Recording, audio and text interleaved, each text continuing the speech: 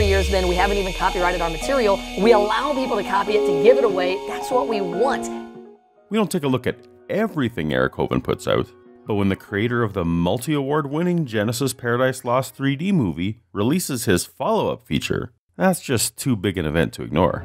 This time, Eric's movie is taking us to the world famous Grand Canyon. Today, we're going on a journey of discovery. How did the canyon form? And what does it tell us about the past, the present, and the future? The answers could change your life. If the answers can change my life, then I'd say they're worth taking a very close look at. Welcome to Paulogia and our look at the science of scarred earth.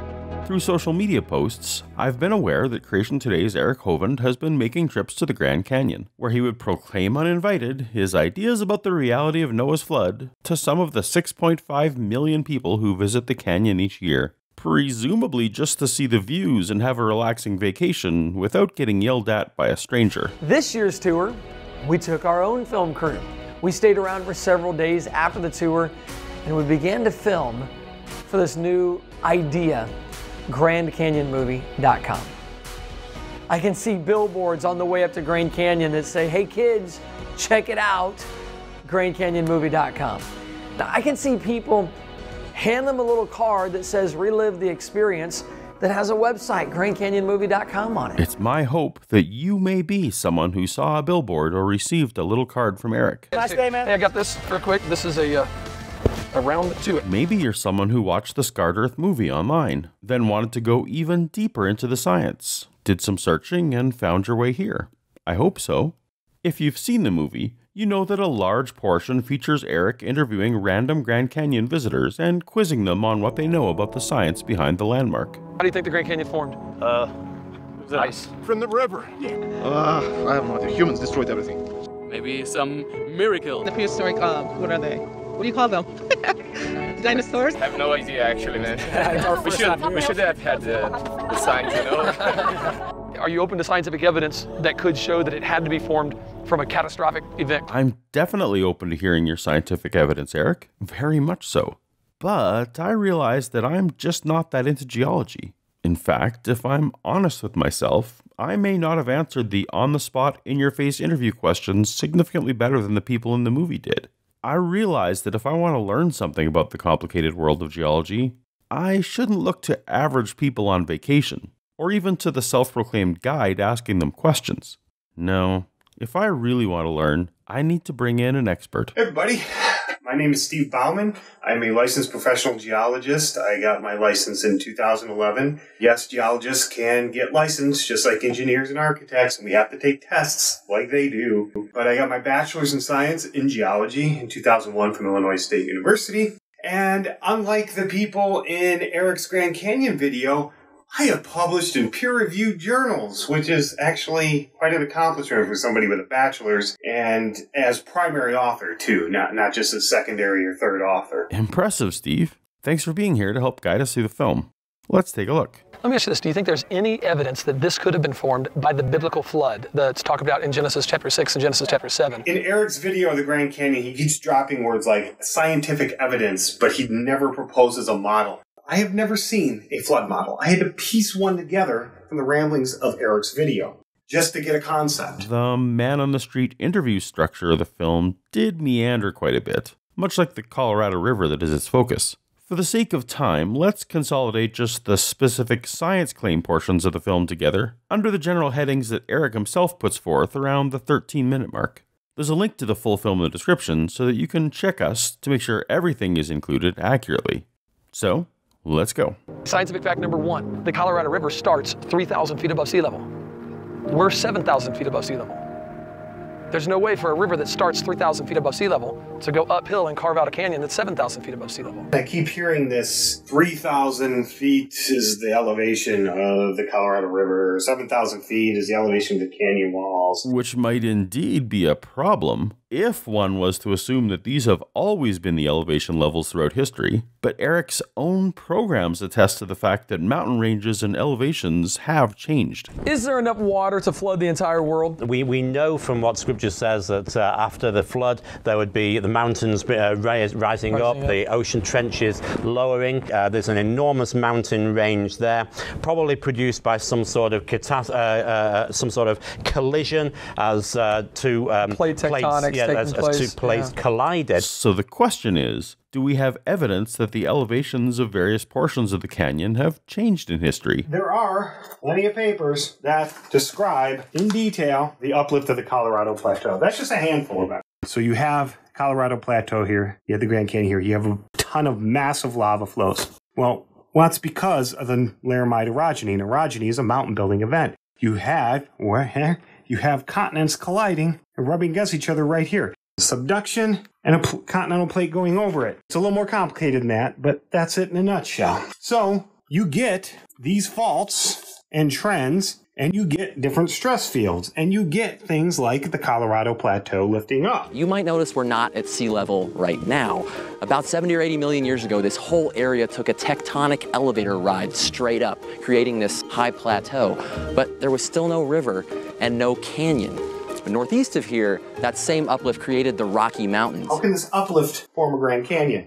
You have the Colorado Plateau uplifting. So you have this river meandering through, and in cross section, you have Happy Colorado River doing its thing. Now, it's not this simple, but what will uplift produce here? If I start uplifting slowly, but as this uplifts, this doesn't move. What happens is I get uplift. I'm not going to move my Colorado River, but I'm getting uplift, and I keep getting uplift. And now my Colorado River has to downcut in order to keep pace with this uplift. And my Colorado move, River has not actually physically downcut. It's still near the same elevation it was before the uplift. It's just relative to the uplifted rocks, it looks like it's cut down. As Eric admits elsewhere, no matter your opinion on the age of the Earth, the area of the Colorado Plateau is higher now than it was when the canyon began, completely negating this uphill river flow objection. Scientific fact number two. On top of where we're standing, there used to be another mile of dirt Only an idiot calls strata dirt. How do you really feel, Steven? that has been removed for tens of thousands of square miles. Okay. The Grand Canyon is missing 900 cubic miles of dirt. Mm-hmm. He calls strata dirt at least three times in the video. Sorry, but that's a trigger for geologists. Here's Russ Miller sharing with the group one of the things you don't see at the canyon. Russ, I looked Russ up. Russ didn't even graduate college. He didn't finish, you know, whatever. That happens. I'm not going to hold that against someone. But when you sit there and talk with an authority, like you know your ass from a hole in the ground, And I understand that one of those is very important in geology. and you don't have the credentials, experience, or knowledge to back it up, anything he's ever learned, he's learned from a creationist website. It's missing 900 cubic miles of sediment. 900. This missing mile and a half of strata isn't 900 cubic miles of missing sediments.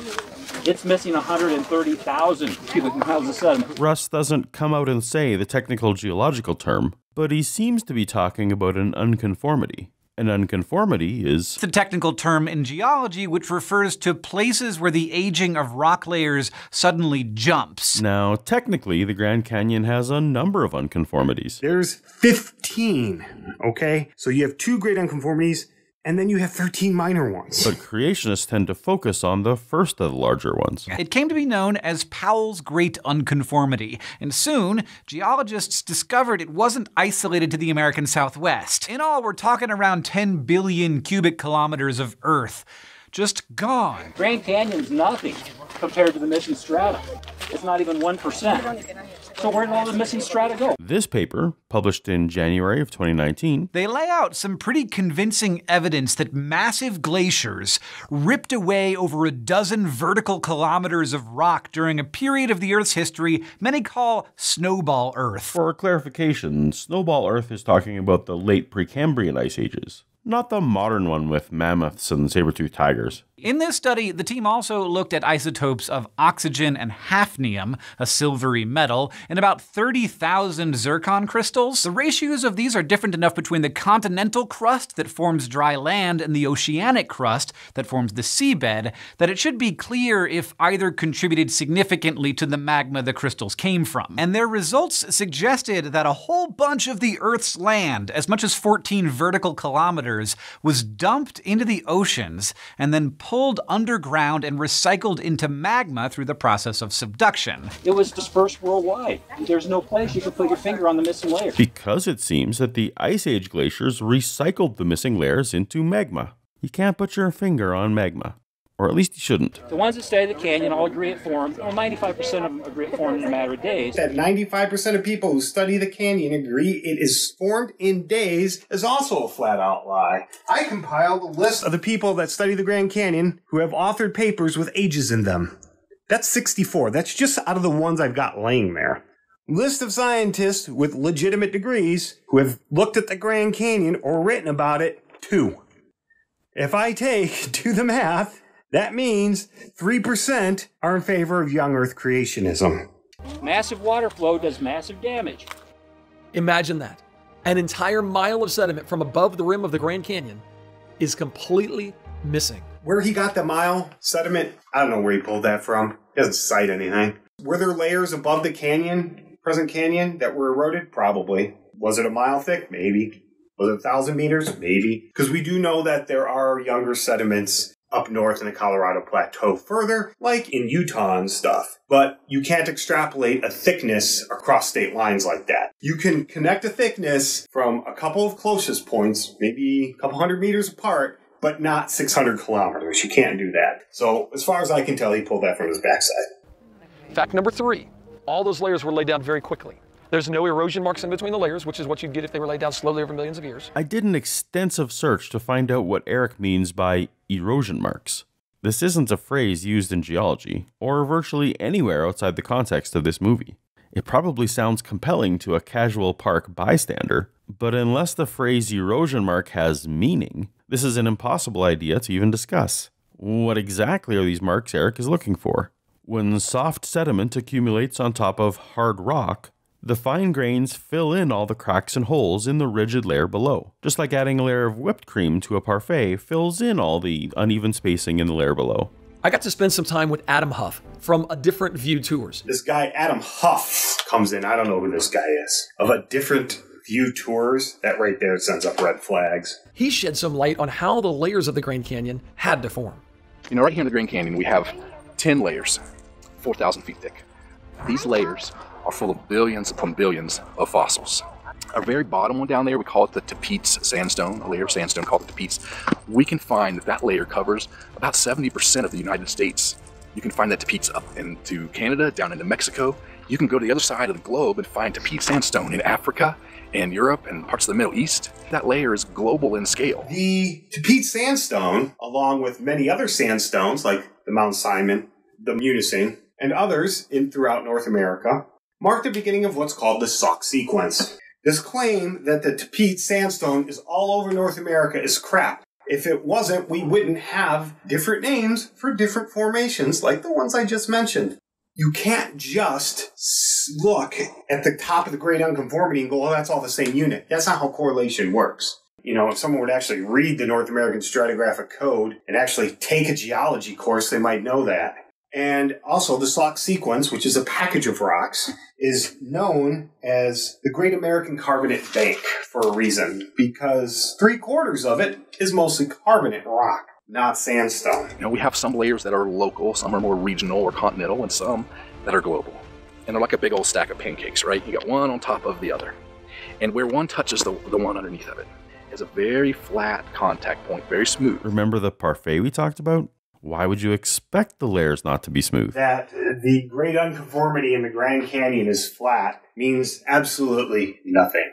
If I took you to Baraboo, Wisconsin, along the north limb near Abelman's Gorge, where every geologist in the Midwest goes for structural geology, what you would see is the great unconformity changes. In some places, it's nearly level. In other places, it's vertical because what happened is the Baraboo quartzite is Precambrian. It was folded into a syncline. You and you can put your finger right on it. You have a vertical great unconformity. You can put your finger right on the vertical cliffs of the Baraboo quartzite, right next to the nearly level beds of the Cambrian sandstone.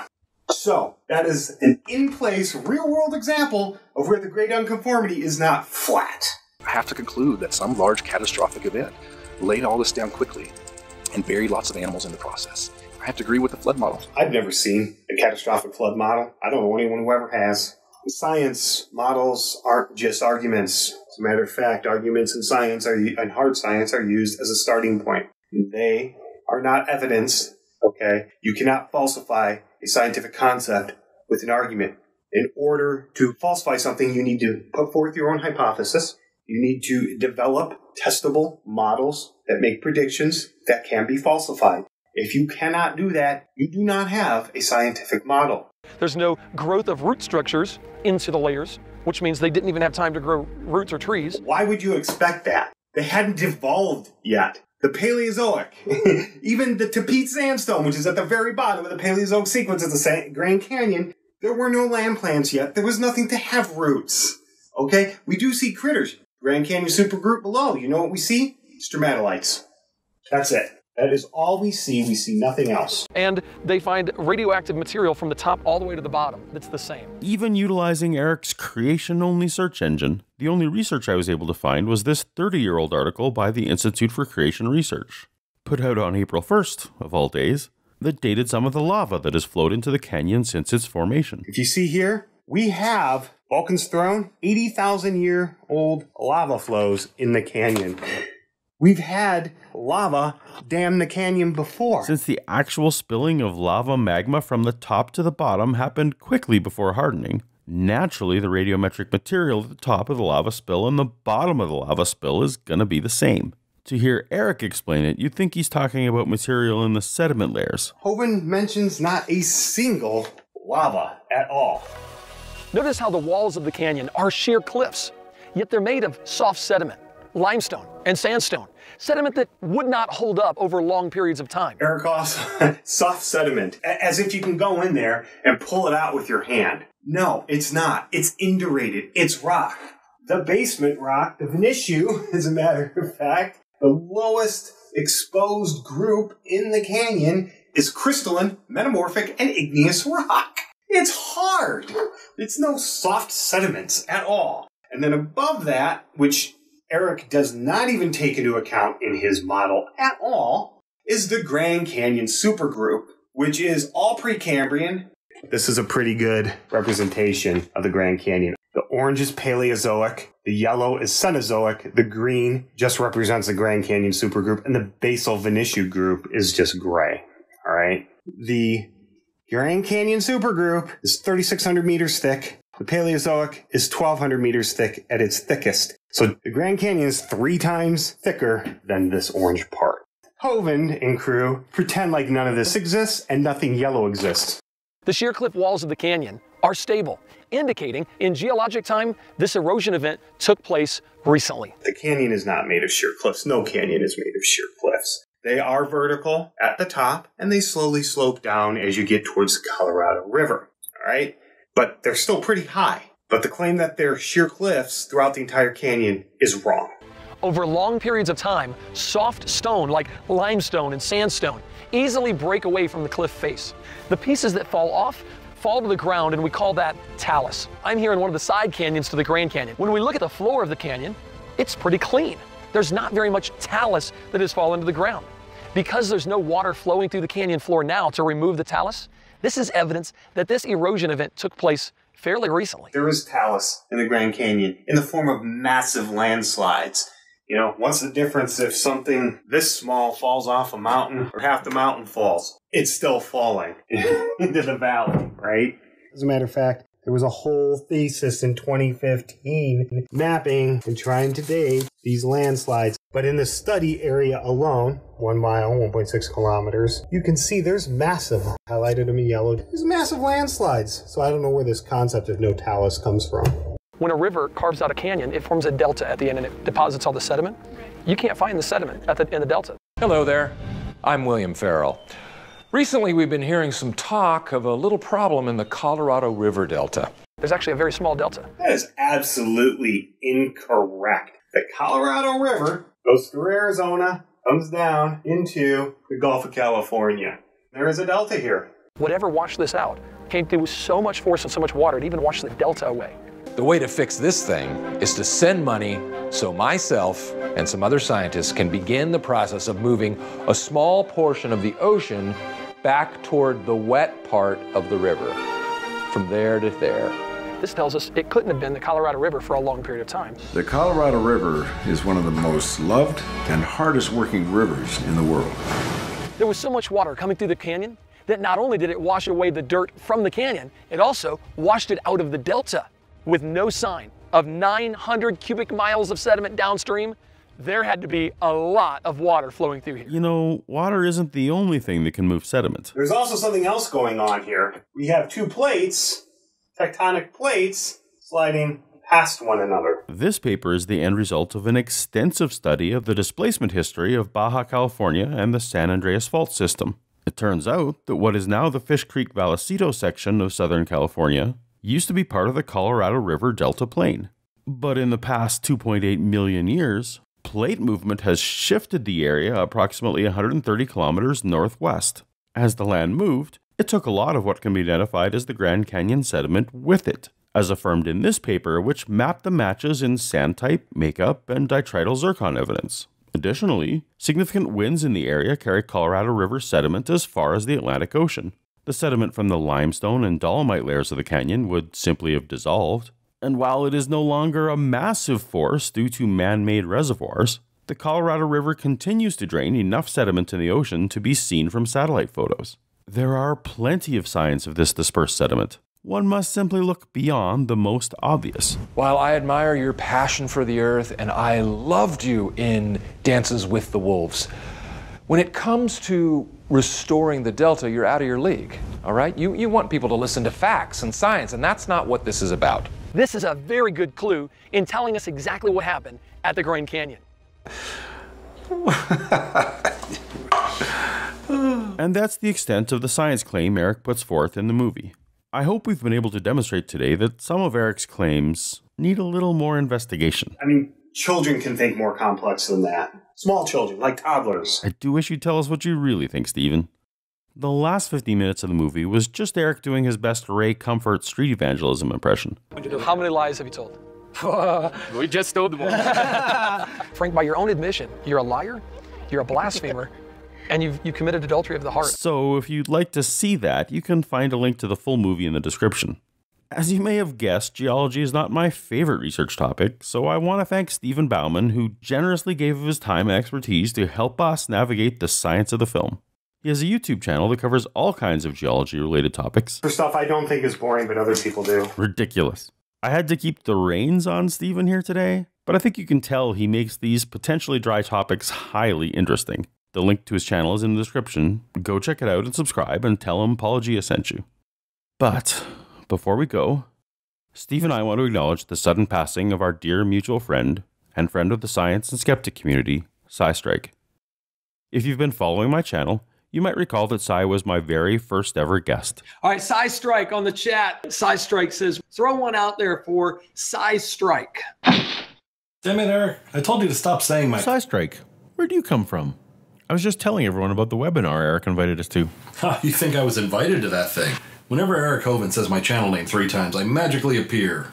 Like Beetlejuice? Exactly like Beetlejuice. We split and co produced the 13 part series Is Genesis History Science? He was my silent partner on the entirety of the Science of Genesis Paradise Lost series. He helped often with traveling to shoot and donate event footage, like this July's Ark Encounter protest. And in the very last conversation I had with him, he was excited to find out about Eric's Grand Canyon movie and was anxious and excited to be a part of this very video that you're watching now. Tragically, a car accident took him from us before that could happen. But Steve and I knew that Sci would want us to finish it, and so we have. SciStrike's movie nights have been a safe haven for me nearly every Friday night for years. So it is a bit unreal to think that his jovial Hi Paul greeting will no longer light my week. Oh, hi, oh, Paul. Hey, Paul. Hey, Paul, how's it going there?